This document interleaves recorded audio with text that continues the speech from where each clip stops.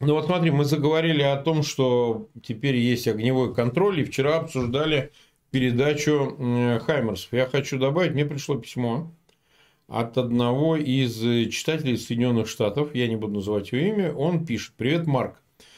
Я посещал встречи с сенатором Уорнером в Норфолке, Вирджиния, на прошлой неделе. Он встречался с украинской общиной в преддверии выборов. Вы, конечно, знаете, что Уорнер – глава комиссии в Сенате по вопросам разведки. Во время угу. встречи он рассказал о поддержке Украины и, в общем, показал глубокое понимание нашей истории, всей ситуации. Во время вопросов-ответов, отвечая на вопрос по поводу Хаммерсов, он буквально сказал то же самое, что сказал президент Байден – просто 60-мильную дальность Хаймерсов, которые поставляются, а вот те, что 300 миль, не поставляются. Сказано, это было как бы вскользь и между делом, но при этом он повторил это несколько раз. Я слушал очень внимательно, потому что это было озвучено в первый раз. Он сказал, ну, я не специалист, но там, насколько я помню, есть 4 типа дальности. Так вот, мы поставляем 160 миль, а 300 пока не поставляем. Впечатление было, что сказано это было не случайно, а хоть и в виде беглого ответа на вопрос, почему США не предоставляет больше Хаймерсов. Из интересного он уверил, что с Путиным никто уже никогда не будет вести дело, но сделал большой акцент на борьбе с Китаем, отвечая на вопрос о мире после войны.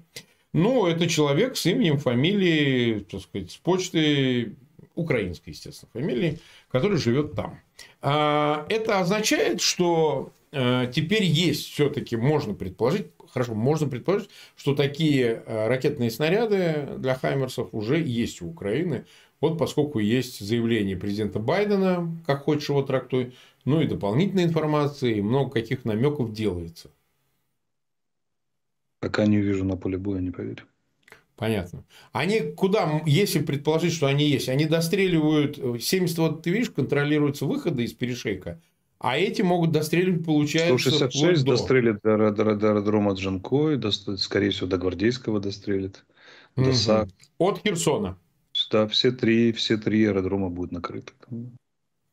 Авиация, авиация ну, там... Есть...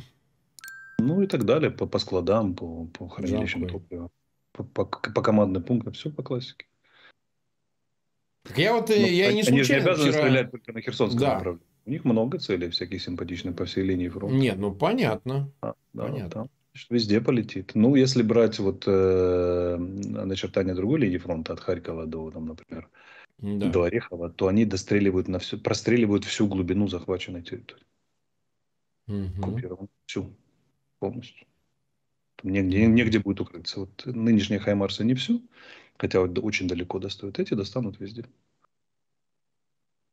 Ну, ты же согласен, что если уж э, Хаймерс как таковые изменили э, ход войны, ну, я не говорю, что они прям решающим, но, но, но важнейшим, они стали фактором в войне получения их украинской стороной, то получение таких ракет с такой дальностью действительно да. могут еще сильнее изменить. Будем осторожны. изменят, особенно если их дадут в, товарных количествах, а не 4 штуки.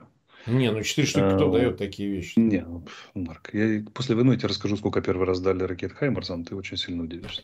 Ну, хорошо. Первая партия. Хорошо. Меня уже мало чем можно удивить, я давно живу. И, и тем не менее удивишься. Да? Поэтому этот самый, да, конечно, это будет очередной game changing weapon этап.